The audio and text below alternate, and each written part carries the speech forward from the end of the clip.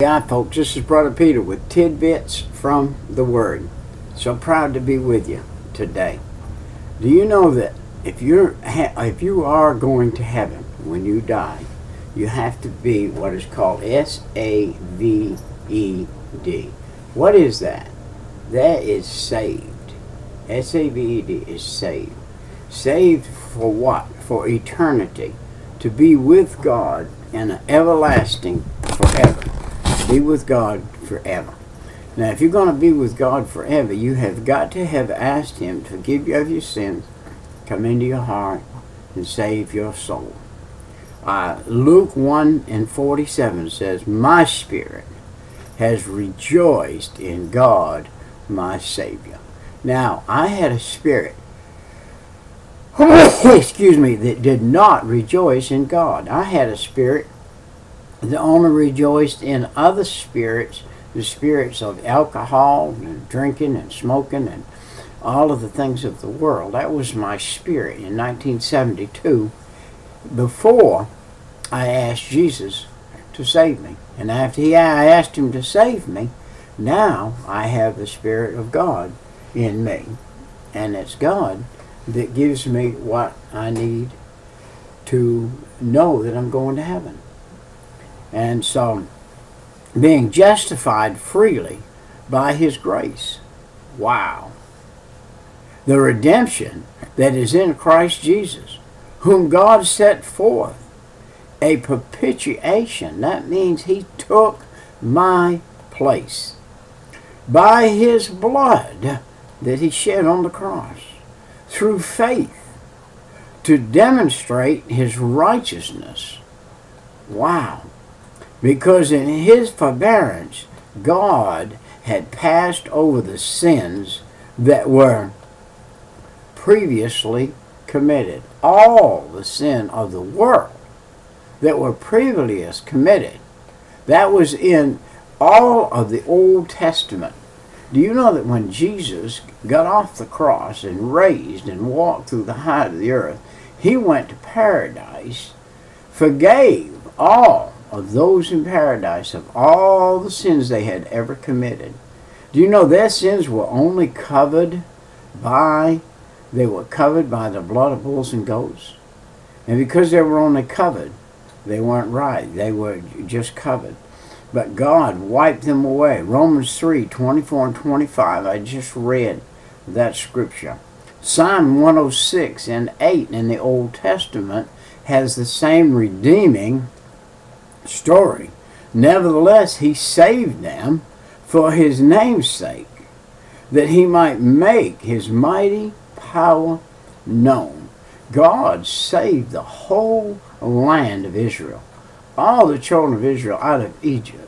Out of 400 years of bondage, he saved them and uh, we worked with them. Now, in that day, in the Old Testament day, the law just covered that almost like a physical thing. And we have so much physical failure. We cannot, on our own, uh, physically serve God without the Holy Spirit coming and making it to where we can serve God. The Holy Spirit's the one that has to do it. God did. He, God did not send His Son into the world to condemn the world but that the world through him might believe. He did not condemn. He didn't send him in the world to condemn the world.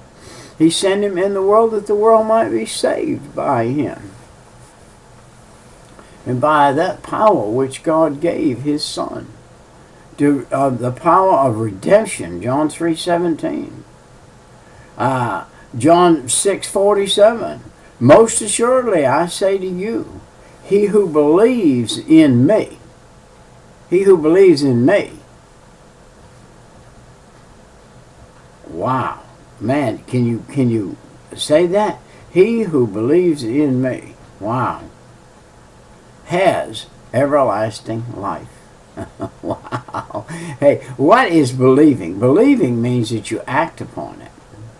Say, if I believe that God would have me get on the YouTube and do some excerpts, then I act upon it. I, I do what I believe. I believe if God said He'd do, He would honor these, then I'm doing them. When I don't know, and who I don't know, they're going to be true. John three thirty six. He who believes in the Son has everlasting life, and he who does not believe in the Son shall not see life, but the wrath of God abideth on him. Wow. What is the wrath of God? The wrath of God is the eternal. It's the eternal thing. It's eternal.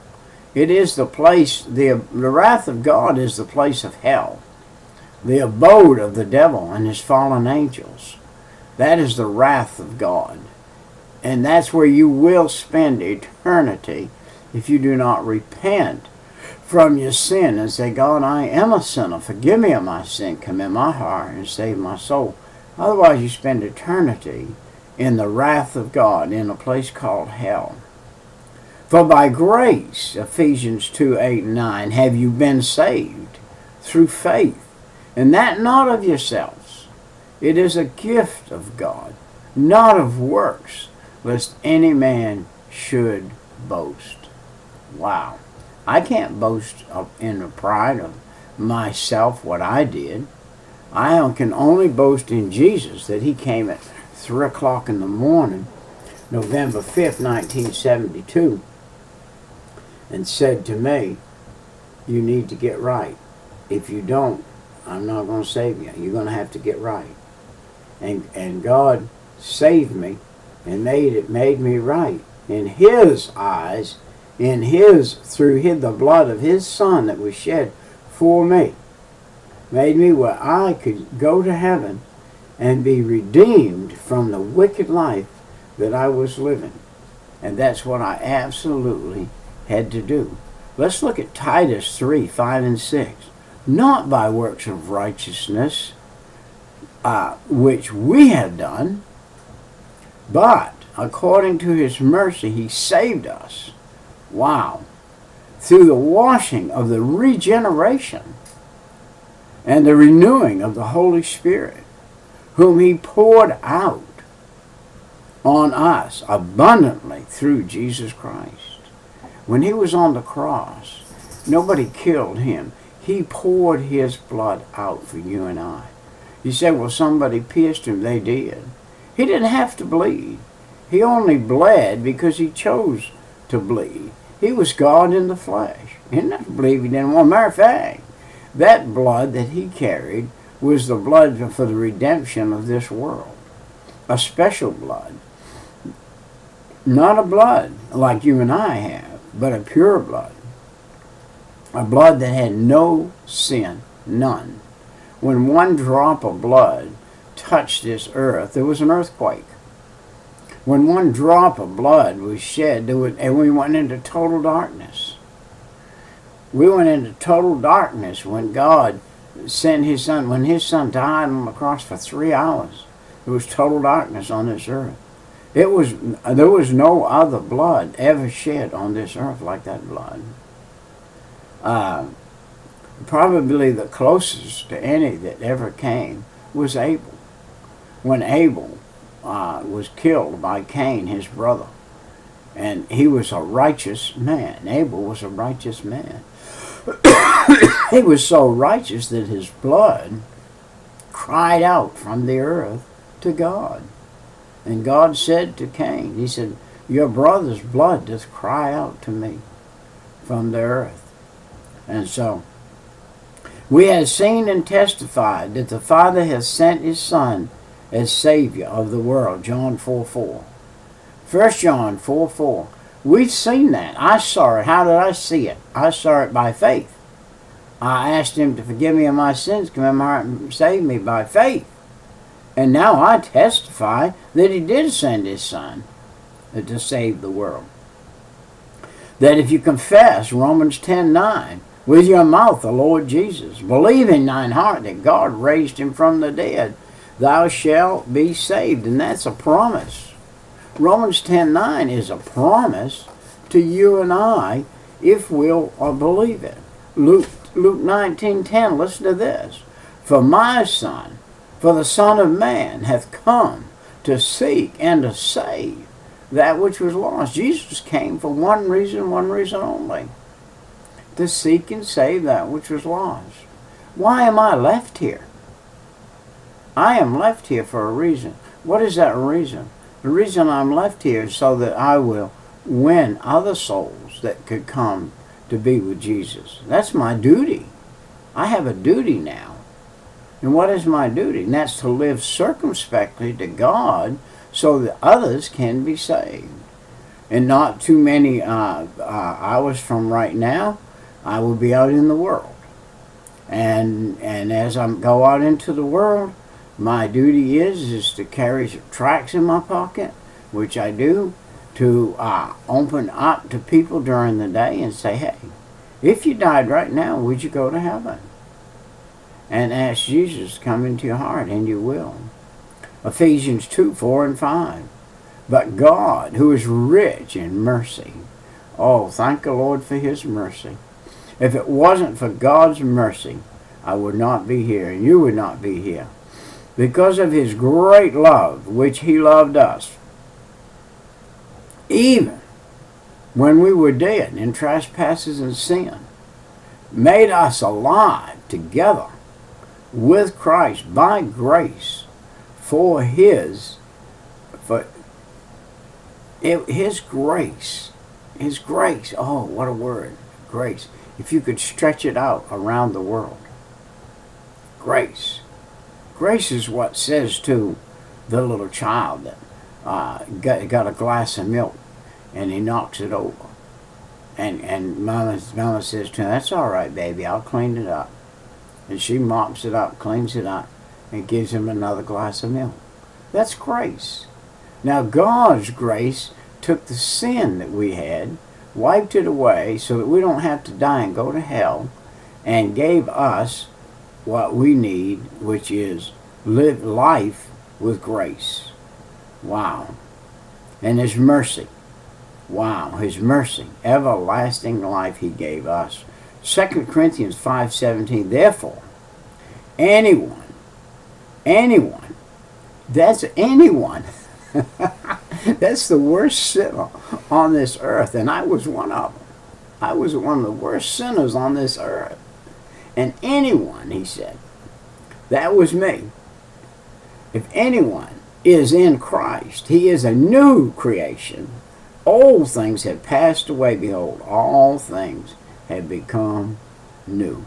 Do you know I asked Jesus at 3 o'clock in the morning in 1972 to do away with all of the old things that I did and had done? And he did instantly, instantly, instantly. They were gone. Instantly, he did away with them and they were gone. And I became a new creature in Christ Jesus.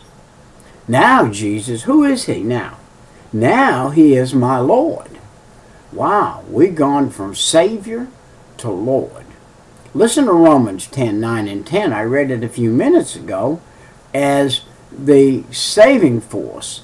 Now I'm going to read it as the Lord, as the Lord of my life that if you confess with your mouth the Lord Jesus, believe in your heart that God raised him from the dead, you will be saved.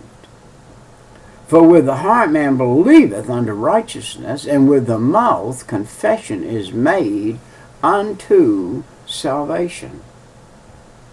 So we have to make that confession unto salvation. Once we make it, then we have that salvation. Therefore let all the house of Israel know assuredly that God has made this Jesus, whom ye crucified, both Lord and Christ. Acts 2.36, Peter was saying to uh, 70 different dialects of people and different people, this Christ, the one you just crucified, you scribes, you Pharisees, you people, you just crucified this man.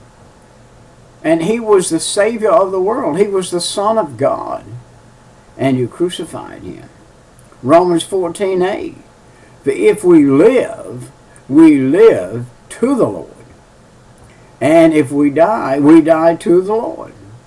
Therefore, whether we live or die, we are the Lord's. Wow. Once you ask Jesus to save you, you become the Lord's child. He is interested in you uh, 24 7s. He's interested in you 365 days a year, every second, every minute. And he's interested in you serving him.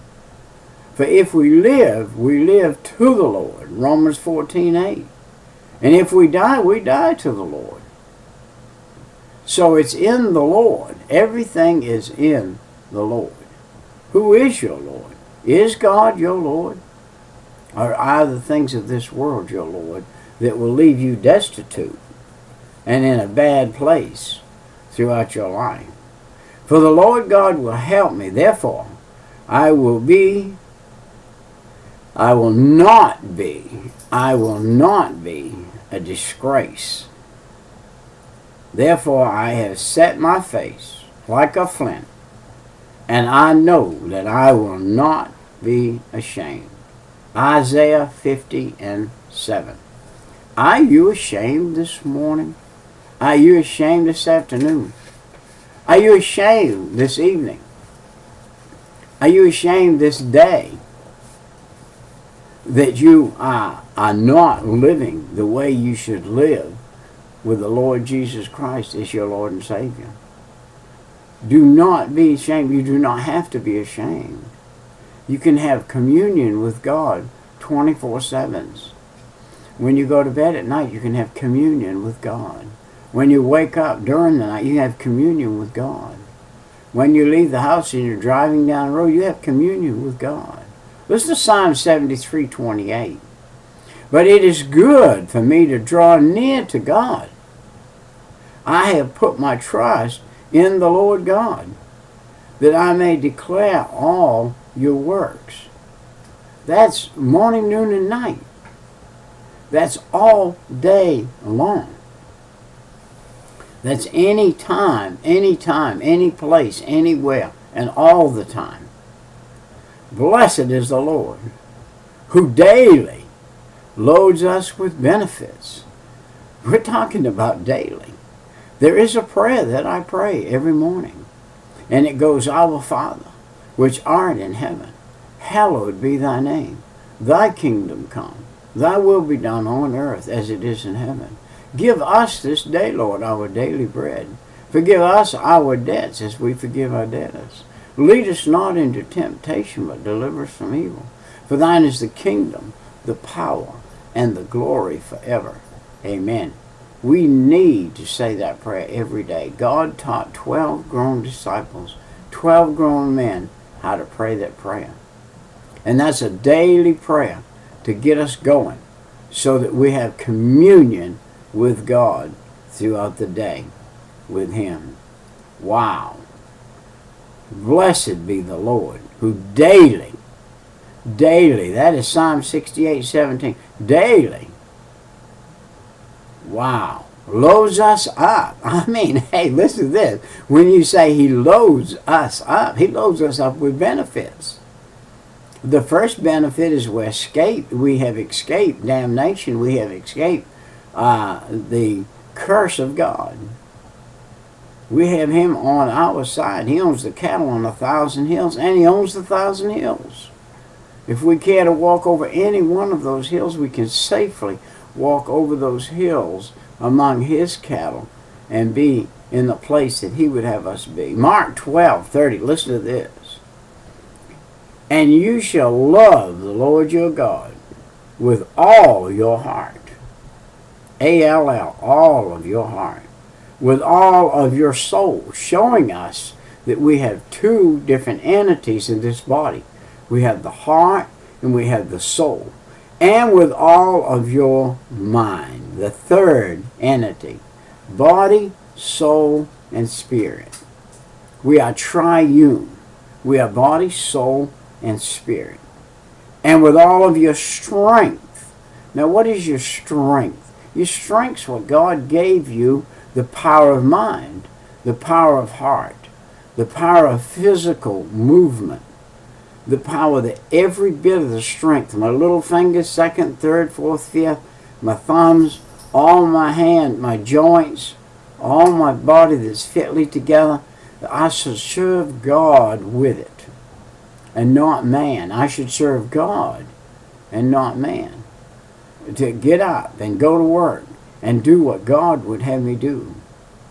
And you know what he says? This is the first commandment.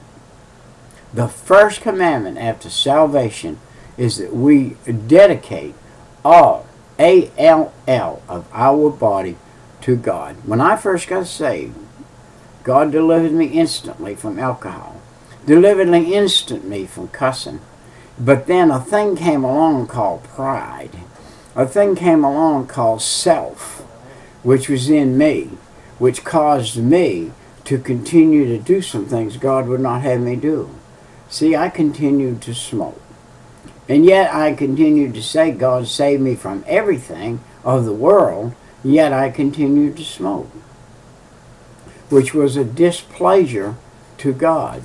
It was a displeasure to God for me to continue to smoke. So he had to show me I couldn't keep doing that and say that I was serving him all the way because I hadn't given him everything that I should have. Listen to this one. Philippians 2, 9 through 11.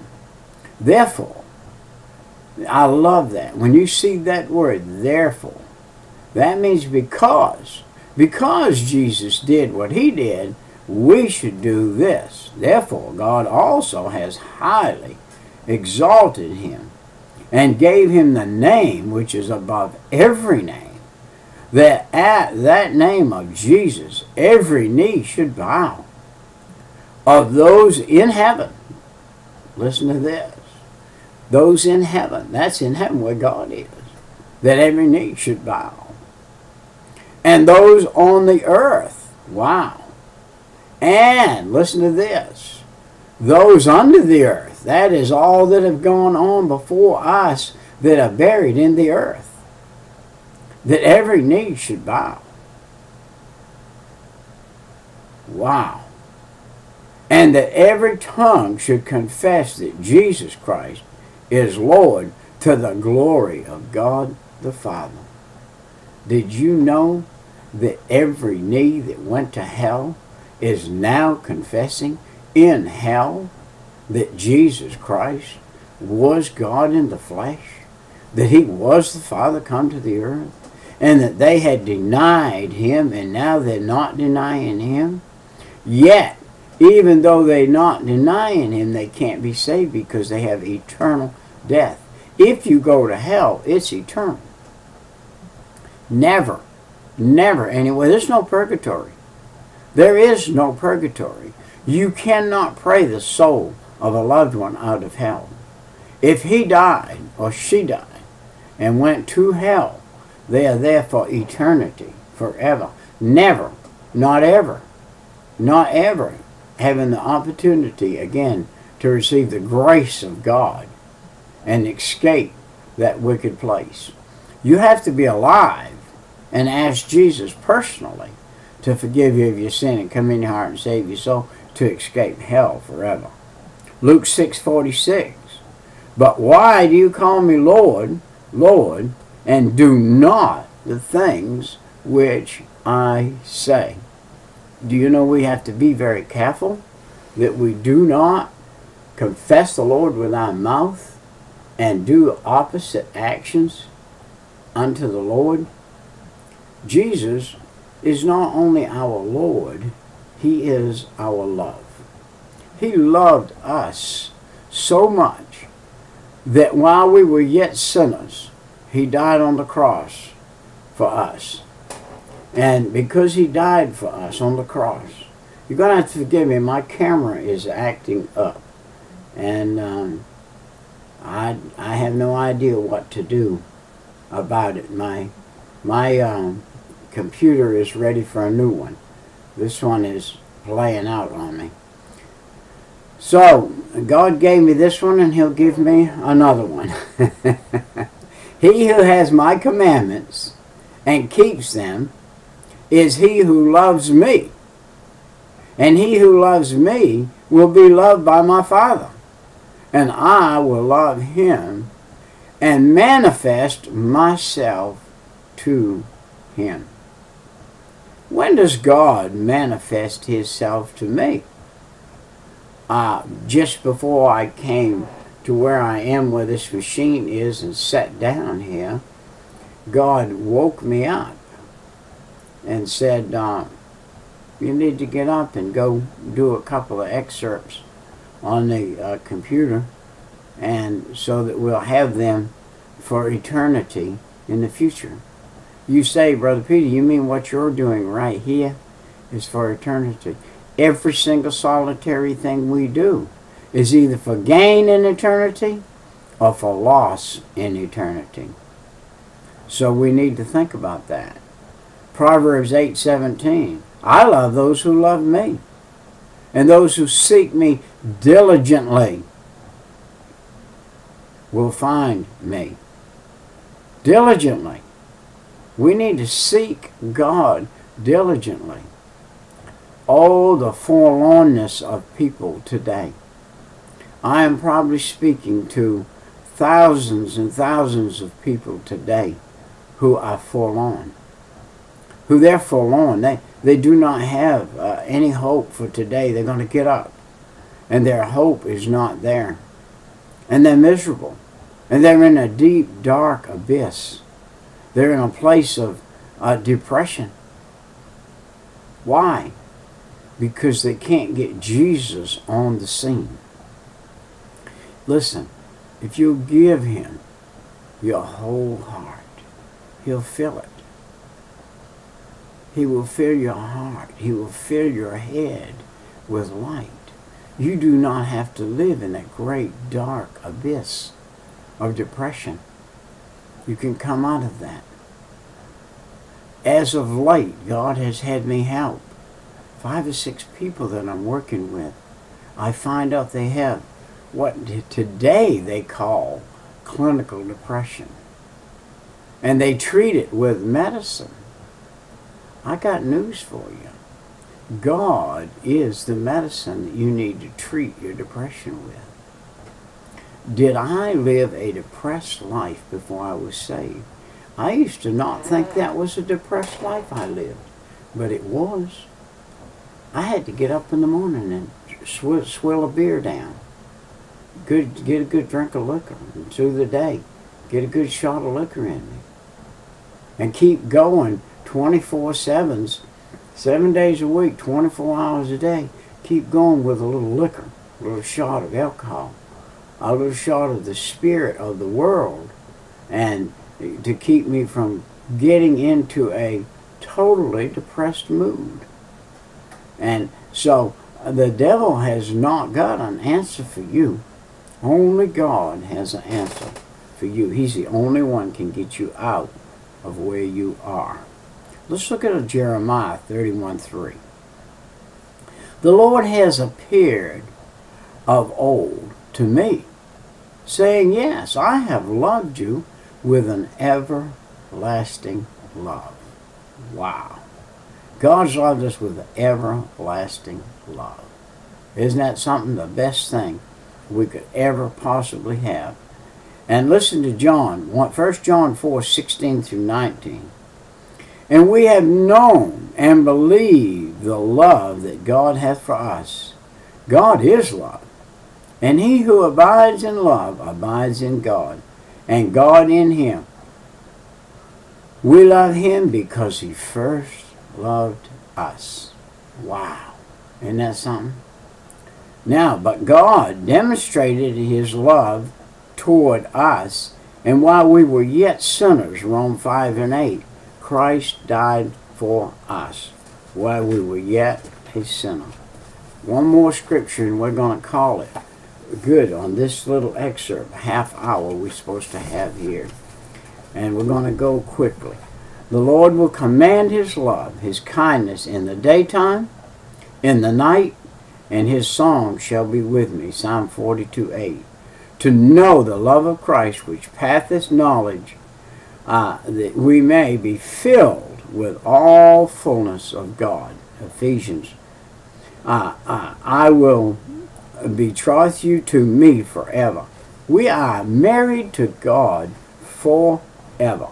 I will betroth you to me in my righteousness and justice and loving kindness and mercy. Hosea 2:19. And now abide faith, hope, love, and these three, but the greatest is love. 1 Corinthians 13. Listen to this. John 15, 9 through 17. For the Father loves me, also have I loved you. Abide in my love. And if you keep my commandments, you will abide in my love. Jesus, just as I have kept my Father's commandments and abide in his love. These things have I spoken to you, that you may joy and may remain in you, and that your joy may be full. This is my commandment, that you love one another as I have loved you. Greater love has no man than this, that uh, than to lay down one's life for his friends. These things I command you that you love one another. What he's saying, do you have a friend who is not saved? Are you praying for that friend? Are you laying your life down for that friend? Would you say that on Thursday, on Thursday this week, I'm not going to eat dinner? On Thursday of this week, I'm going to fast one meal for one of my friends and pray for him during that mealtime. So you knock off the dinner at your work, you go sit in your car or go sit wherever it is you normally eat, and you open your Bible up and you read and you pray for this friend. This is what he's saying, laying down your life for this friend. Lay down your life for a friend. How do you do that? You give yourself to fasting and prayer and a time for that friend and pray for him, especially your lost friends. All of us have friends who are not going to heaven, who are going to die and go to hell if if something if God doesn't come on the scene and do something for him. Have you got some friend that you need somebody to help you pray for? Find somebody that can help you. We went in our little study this morning so far in our 32 minutes here. We have gone from love, the love of God, the salvation of God, the mercy of God. Now God has given me and will give to you peace. Peace. Peace I leave with you. My peace I give you. Not as the world gives do I give you. Let not your heart be troubled, neither let it be afraid. This is where the world is today. We're in a place today where there's no peace. There is no peace. People are in a muddle. They're in this depressed mode, and there is no peace. The Lord will give strength to his people. The Lord will bless his people with peace. Wow. Psalm 29:11, Philippians 4 and 9. These things, these things which you learned and received and heard and saw in me, these do. And the God of peace will be with you. There is some doing. There is some doing in this life. We can't just sit by and do nothing and expect this peace to fall on us. We've got to follow what God has us follow. Romans 5 1. Therefore, having been justified by faith, man, we have peace with God through our Lord Jesus Christ. The Lord Jesus Christ is our mediator. When you pray, pray in Jesus' name. Pray in Jesus' name.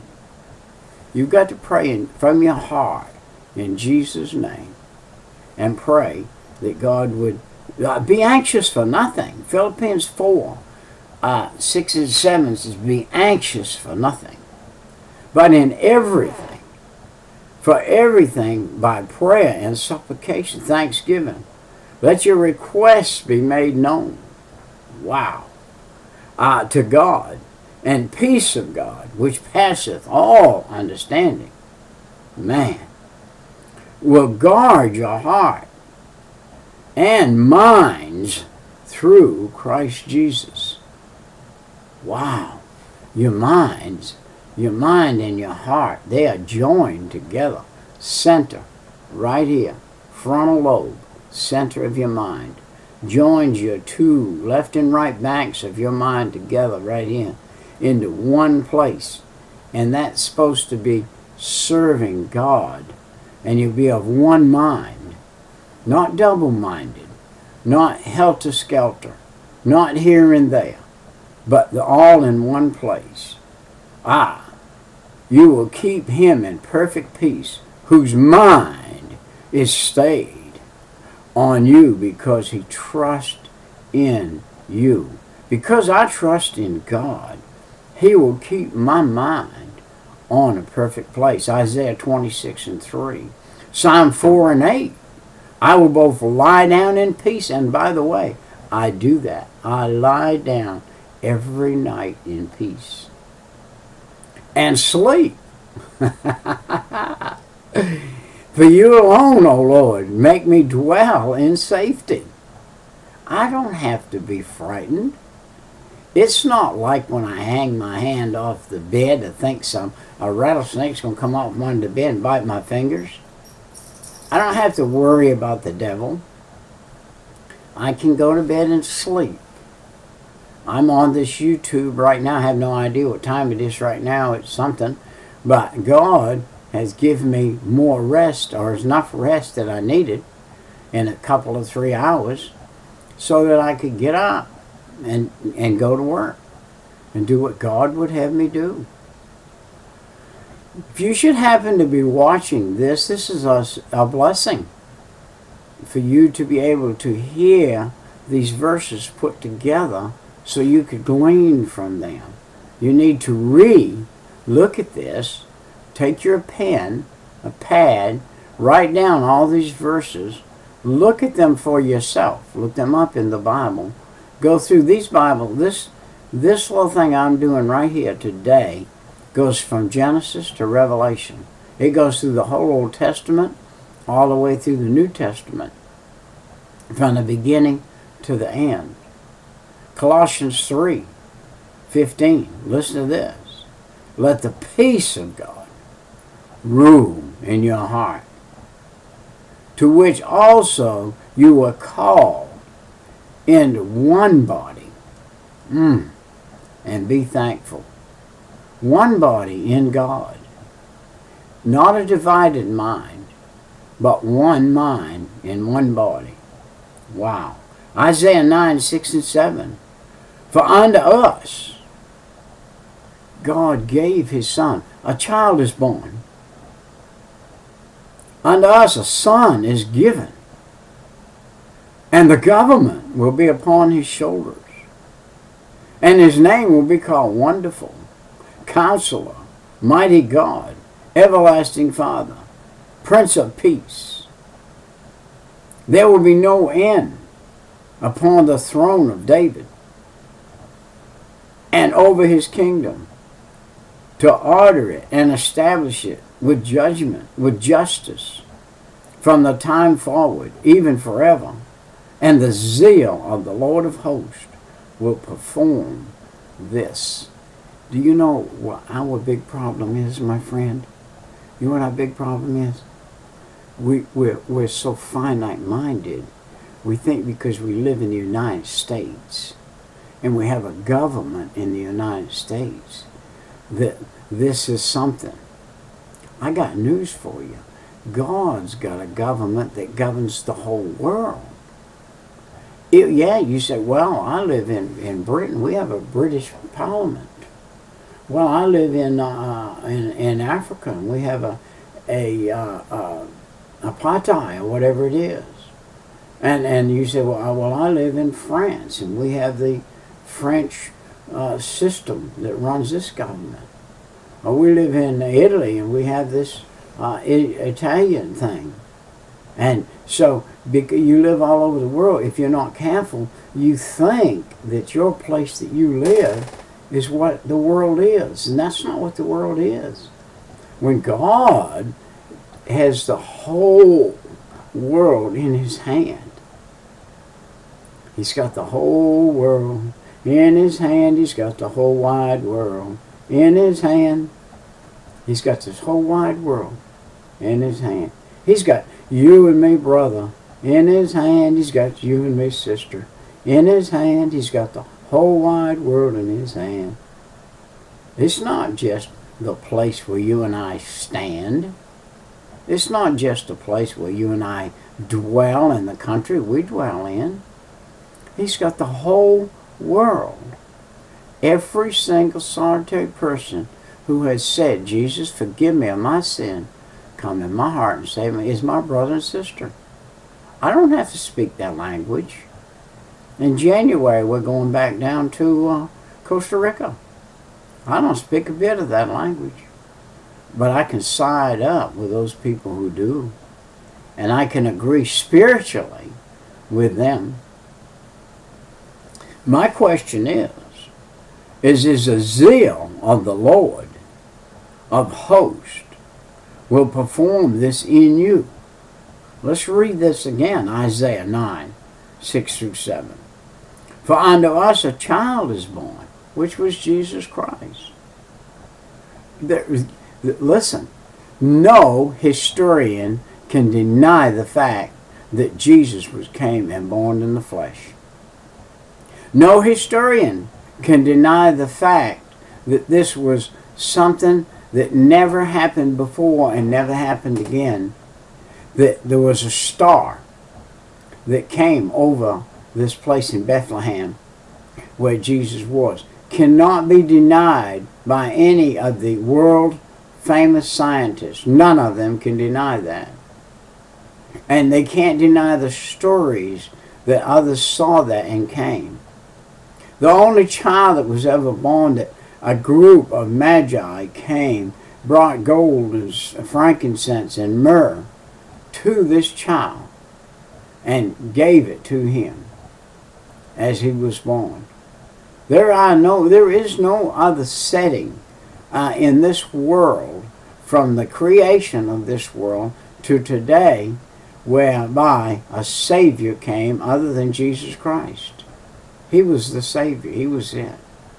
You can uh, go by all of the other things that you want to, other religions you want to, but they're not going to take you to the same place. There is only one Savior, and that's Jesus Christ, who can get you to the Father God.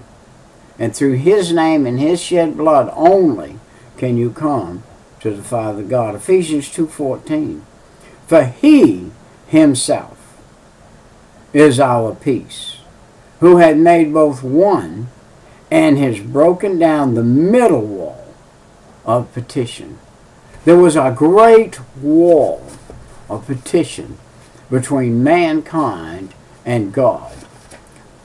Where did that wall start? It started with the disobedience of Adam that believed the lie and got damned because of it. So because of that, now forgiveness had to come into the world. And this forgiveness, Psalm 103 and 12 says, As far as the east is from the west, so far has he removed the transgression from us. God moved the transgressor that I was and the transgression that I did for 30 years. God moved it as far as the east is from the west.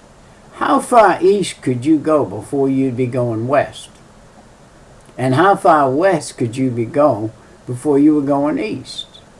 The two do not meet. They are a complete circle that cannot be depleted. You can go east until you can't go east anymore, and that would be forever. so, uh, if we confess our sins He is faithful and just to forgive us our sins, cleanse us from all unrighteousness. 1 John 1 9. Hebrews 8 12. For I will be merciful to their unrighteousness and their sin and their lawless deeds I will remember no more. wow. I got relieved. I, you know that uh, from November 5th, 1972 at 3 o'clock in the morning, I have never had to drown my sorrows in alcohol again. I used to drown them every day in order to live with myself for years. In order to live with myself, I had to get drunk all the time, stay drunk. Otherwise, I had to face myself, and I was a thief and a robber and a crook and a liar and a cheat and a, a whoremonger, and I was, if you name it, I was it. In order to live with me, myself, and I, I had to get drunk. And that you listen, and there are many of you that have had to do the same. And now God has delivered you. And if you are watching this and God hasn't delivered you yet, you need to ask Him to deliver you from every bit of that stuff. And He will. Hebrews 8 12. For I will be merciful to their unrighteousness and their sins and their lawless deeds. I will remember no more. He'll cast them into the sea of forgetfulness if you'll ask Him to. It's never more to be remembered. I love that scripture. I use it all the time for my own self that the devil can come up and say, Why you heathen? You used to do this, you used to do that. That's a used to. That's gone. God forgave me of that. It is no longer in my past. Do people come up and say, I remember when you were so and so?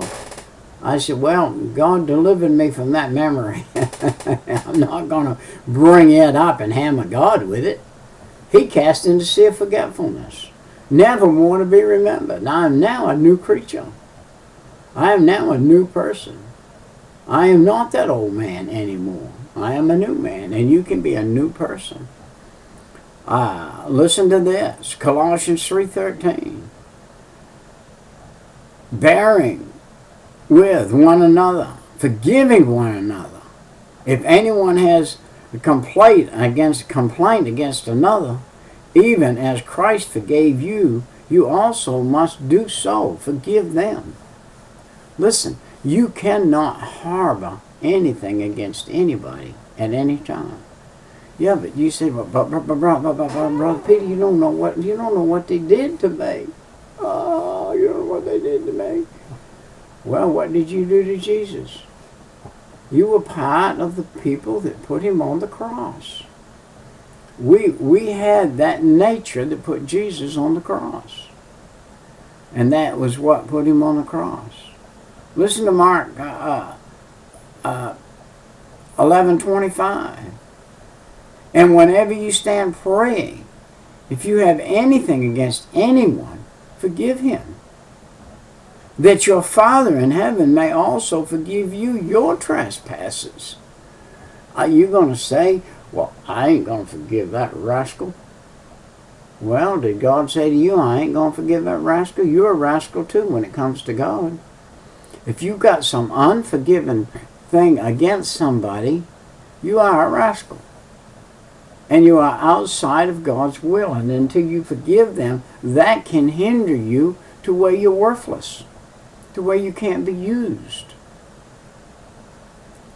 We've got to do different. Isaiah 118. Come now, let us reason together, saith the Lord. Though your sins be like scarlet. Oh, wow. They shall be as white as snow. Though they are red like crimson, they shall be as wool. What he's saying is the sins that we did and the sins that we may do will be under the crimson blood of Jesus Christ. And the scarlet blood will turn them white as wool. And they will be uh, made clean. They will go from black to white through the red blood of Jesus Christ. Isaiah 118. Isaiah 43:25. I, even I, am he who blots out your transgression for my own sake. Wow. And I will not remember your sins. Man, Isaiah 43:25. God himself saying to an unworthy generation, I will not remember your sins. Wow. The wicked forsake his way, the unrighteous man in his thoughts. Let him return to the Lord, and he will have mercy on him, and to our God, for he will abundantly pardon. Isaiah 5 5 through 7 says that God pays attention to our thoughts. He knows the number of every hair on our head. He knows our thoughts. He knows our thinking pattern. He knows when we are totally in communion with Him and when we have broke that communion by lustful thoughts or thinking thoughts that do not belong in our head. Therefore, if anyone in Christ, he is a new creature, a new creation. Old things have passed away. Behold, A-L-L, all, all things have become new. 2 Corinthians 5.17 All of that old life that I was got passed away and I got a new life all things in my life became new. And it was called the righteousness of God.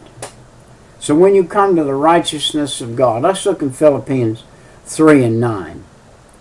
And be found in him, not having my own righteousness, which is from the law, but that which is through faith in Christ, the righteousness which is from God by faith. That's the only way you can come to God is in pure righteousness, and that's by faith. And there will be not, there will not be one speck, not even a speck of unrighteousness in heaven. None. God is pure light. Darkness cannot penetrate light. When you go to heaven, you will not go with one speck of unrighteousness on you.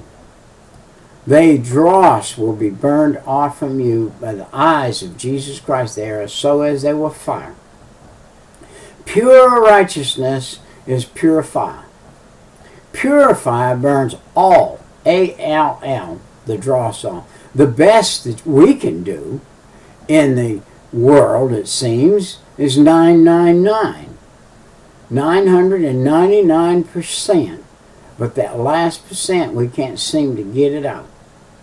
We can't seem to get the 100% pure. And you can uh, do silver seven times, heat it to the, and rake the dross off it seven times, and you can get 999 out of it. You can heat it eight times, but you're still only going to have 999. You are never going to get 100% pure. And on this earth, you're not going to do that. The only one that can get 100% pure is God. And that's it. Romans 3.22 Even the righteousness of God through faith in Christ, Jesus Christ, to all and all who believe, for there is no difference. God didn't give us 100% righteousness through his Son. He came. Did you know that not? For 33 years, Jesus walked on this earth, and not one speck, not a speck of unrighteousness touched him. Or did he touch? Not a speck that when he went through the uh, torment of the devil, And the devil took him here, took him there. God allowed the devil to take the flesh and the body of Jesus and take him over to a mountaintop pinnacle and, and to speak to him rudely. And Jesus never brought a railing accusation against the devil. He never sinned. He never said anything. He had a love even for the devil, even though the devil was wicked. The devil could not be turned around, though. Uh, Romans 8 and 10 says, And if in Christ is in you, the body is dead because of sin, but the spirit is life because of righteousness. Our spirit is the life that came into this body, and this body houses the Spirit of God. And we are to follow him. 1 Corinthians 1.30 But of him you are in Christ, who became for us wisdom from God, and righteousness and satisfaction and redemption. Boy, that word redemption, to redeem, to redeem, to buy back. That's what redemption is. We have been bought back out of the hand of the devil. We have been bought back into righteousness. For he made him who knew no sin to be sin for us, that we might become the righteousness of God in him. I said, not one drop of sin ever touched Jesus Christ in his 33 years. But on the cross, when he shed that blood, he took for three hours the sin of the world upon him bodily and sent it back. He was the funnel that funneled that sin back into hell. All the sin that ever had been on the earth, ever was on the earth during his life, and ever would be from then on forever. He took all of that sin, funneled it into hell. And the only way a person can die in that sin is it has to be resurrected from hell, from the devil, into that person. And then that person does not say, Jesus, I am a sinner, deliver me from this, and he dies and he goes to hell, and he lives in hell forever with that punishment and that sin because he has not confessed. The Bible said, confess with the mouth the Lord Jesus, believe in thine heart that God raised him from the dead, and thou shalt be saved. And that's what salvation is. It is a gift of God, not of works, lest any man should boast. So when you say, I am a sinner, forgive me of my sin, immediately you have a new, new, new life, a new change. But to him who does not work, but believes on him who's justified the ungodly, his faith is accounted for righteousness. Look at Romans 8, 3 and 4. For what the law could not do, the law could not do it. And that it was weak through the flesh. God did by sending his own son in the likeness of sinful flesh. How do you mean that, Brother Peter? How did he come in the likeness of sinful flesh? He came in a body on account of sin. He condemns sin in the flesh, that the righteous might be uh, the requirement of the law might be fulfilled in us who do not walk according to the flesh, but according to the Spirit. I'm still walking in a fleshly body, but I'm walking after the Spirit of God. And therefore, I'm covered by God through the Spirit that His Son left behind, the Holy Spirit, has covered me. Wow to work the work of righteousness, which will be peace. The effect of righteousness is quietness and assurance. I have quietness and assurance in my soul, in my body, in my mind, in my heart. I can get up in the morning, whatever time, with quietness I can go to bed at night with quietness. Why? Jesus Christ came into my body, my spirit, and my soul by asking him to and saved me and gave me that. Goodbye.